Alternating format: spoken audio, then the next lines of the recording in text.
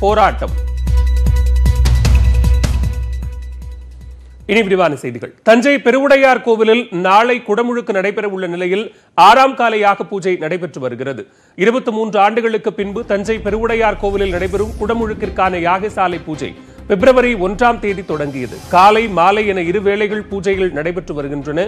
இன்று காலை ஆறாம் கால யாக பூஜை தொடங்கிய நிலையில் மாலை ஏழாம் கால பூஜையும் அதிகாலை நான்கு முப்பது மணிக்கு எட்டாம் கால பூஜையும் நடைபெற உள்ளது.